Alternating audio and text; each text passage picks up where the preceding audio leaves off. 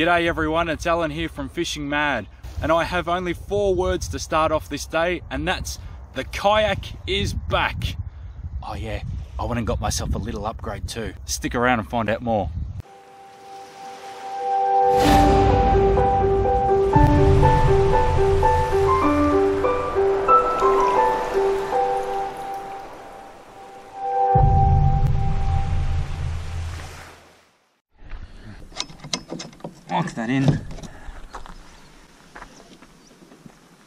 Let's go.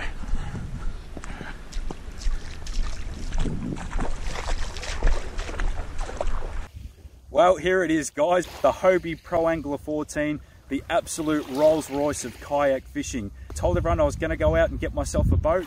I felt like we'd done a few years of land-based fishing. We did a few years of kayak fishing. And I felt in order for me to become a more all-rounded angler, I really needed to go out there and do boating. And surprisingly, that was a really, really big learning curve. Learning um, how to read your sounder, how to back a trailer, safety, all that sort of stuff with the boat.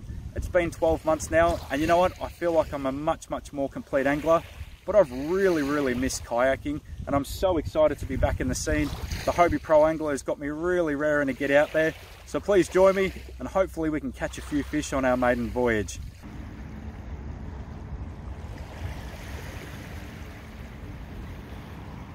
And the worst thing about kayaking is on the peak of low tide when you've got to drag your kayak out an absolute mile and you might be able to see right in the distance. Yeah that's how far I've had to drag that kayak out. Knee-high sand for half the way. I'm exhausted and I haven't even started but let's get going. What fish are we going to catch first on the Hobie? Put out a rod with a couple of pilchard tails on the end and then today I will be flicking soft plastics, which is always my preferred. And I'm just going to be using the six centimeter Pro Grub in motor oil. It's UV motor oil. I've got a tiny bit of S factor that I've put on the tail. Our target species today really, I guess primarily is going to be flathead. This is a really shallow flat area, just mainly sandy, a bit further down it's weedy. So it's a great ground to flathead. I've caught some really good flathead here in the past. Um, the water temperature is still quite cold, so you never know, we might come across some pinkies. Um, this is actually where I did the video with that big school of salmon about 12 months ago. So you can get salmon, you've just got to be lucky. Watch out for bird life. If you see a group of birds, particularly if they're diving down into the water, that's your, uh, your number one sign that, you know, maybe there's some salmon in the area. Um, I've only been out in the water probably 10 15 minutes um, the biggest thing I've noticed so far is this amount of space here. There's just so much space that I'm not used to with other kayaks that I've had. Usually you know you've got stuff all at your feet. There's stuff everywhere. Obviously this is 14 foot so it's a little bit bigger than what I've had in the past. Um, this storage area makes a huge difference. So it seals shut and you know then in there I've got my plastics I've got pliers and scissors I've got two tackle boxes with all the gear that I need. So that's great because they're completely out of sight, out of mind. So that's a really, really clever design. Seal that shut. Um, I guess the storage hutch, this is like in my previous kayak, there's no way that I would have attempted to open this and put jumpers and all that sort of stuff in there. It's actually really easy to get to. Um, these straps make it really easy to open and shut. But again, um, in my native, there's no way I would have ever considered doing that. Probably because that lid was really hard to open. And because you had the pedals in front of you, you had to kind of jump over them. So that's another really cool thing. Um, these rod storages at the front, at first I thought, oh, will I use them or not? It's actually really cool. I had the rods in them, I guess when I took off. Um, instead of having them behind me, I was able to have the net and other bits and pieces. So they actually were pretty good and really out of the way. Um, the Mirage system, obviously very, very cool, guys. I mean, one of the things I noticed straight away is you just push these buttons in, you can adjust them to your, your feet length. They've got the holes here that you can adjust straight away. So quite literally within, you know, 30 or 40 seconds, I adjusted that to, you know, what was really comfortable for my feet. Um, again, not having those pedals right in front of you, that's kind of cool. You just you just feel like there's a little bit less that's distracting you.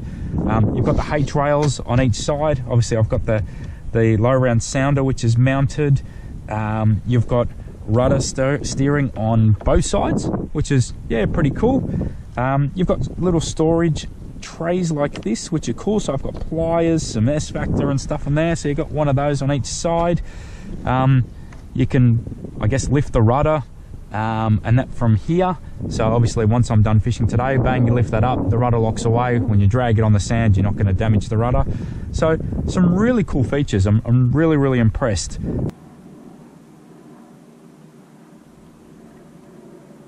There it is, look at that. Oh, that was amazing. So birds diving, so there must have been a big school of bait there. And then I saw dolphins coming up.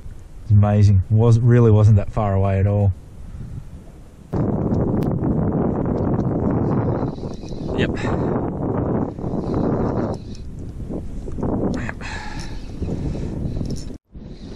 What do we got? What do we got? Let's have a look. Oh, nice big floody. There we go.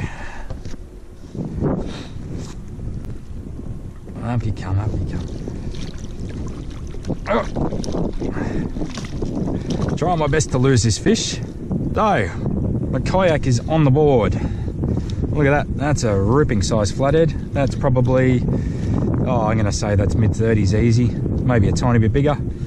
And the kayak has been christened, bouncing around like a washing machine at the moment. So,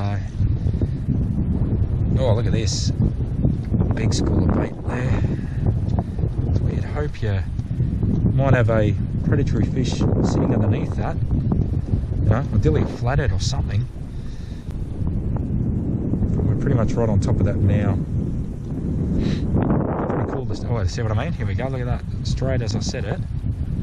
Got a couple of hits on the soft plastic. It's doing, doing, doing. Still got. Yep, yep, yep, yep. Yep, yep, yep, yep, yep, yep, yep. So got a this leader feels a little bit shredded now, but oh yeah, we got another one. We're having a good run here now.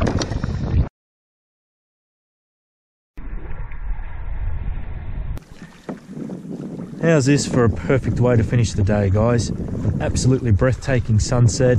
Managed to catch some fish. The conditions have just flattened out completely. It's a real shame that I didn't have a longer window. Um, I've probably only been on the water for about 90 minutes uh, by the time we launched. And yeah, it's a real shame um, that we probably went out an hour earlier.